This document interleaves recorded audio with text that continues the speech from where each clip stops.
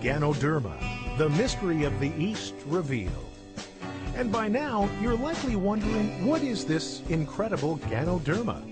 In Cantonese, lingzhi is the name of one form of the mushroom Ganoderma lucidum. It enjoys an honorable place in Asia, where it's been used as a medicinal mushroom in traditional Chinese medicine for more than 4,000 years. In China, it's known as the miraculous king of herbs.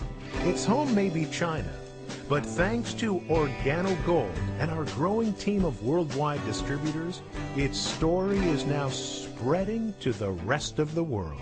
The history of Ganoderma came uh, about 5,000 years ago. Uh, they are called Lingzhi in Chinese.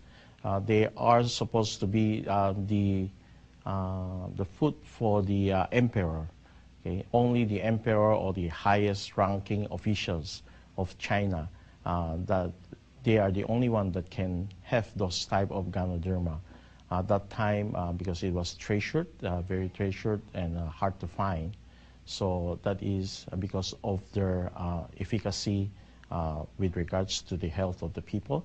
Uh, it enhances uh, the immune system, our immune system.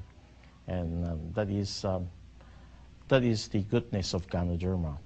And it's just only recently uh, that uh, it becomes available to, to us in a more commercial way. Uh, and we try to use this to uh, let the whole world enjoy the benefits of Ganoderma. China is an ancient country with a profound history. Originating in the eastern area of the Yellow River region and stretching over time zone and time zone. China's civilization is over 5,000 years old and considered one of the four ancient civilizations of the world.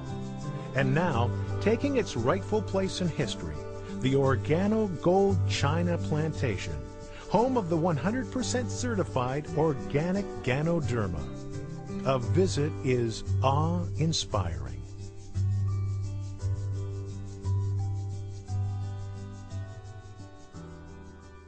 When we arrived in the rainforest, by the way, it's uh, just spectacular in terms of the energy and the air and uh, you can hear the streams on both sides of the farm that we visited uh, coming down, fresh water coming down uh, from the mountains. That, that's what feeds, that's the source that feeds uh, uh, the Ganoderma. To actually see it, to actually get close enough that we could touch it, to see the spore powder sitting on top of that, on top of that herb was absolutely amazing.